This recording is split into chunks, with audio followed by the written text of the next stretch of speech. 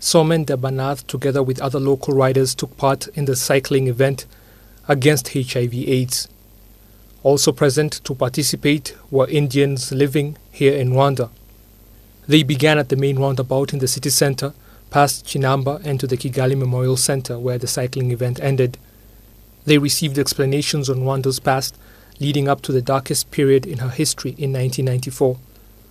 The Indian cyclist believes the world should learn from Rwanda's experiences. What people can learn? People can learn that how we can be peaceful, how we can think that we are one. Our mission is one in this life. That simple, peaceful way how we can live in this world.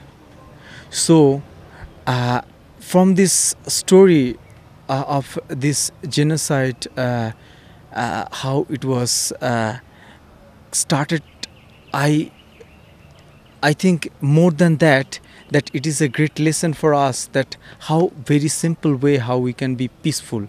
Those who participated in the cycling event agree that HIV/AIDS is a problem that people need to fully be aware of, pointing out that this is the reason why Somen Debnath started his journey around the world on his bicycle, beginning in his home country of India. Rwanda is the 89th country the cyclist has passed through. On the 11th of this month, he will leave for Burundi and then to Tanzania, and by next year, he will have completed his journey on the African continent, ready to continue to other continents around the world. Sarah Shinhore, Rwanda Television News.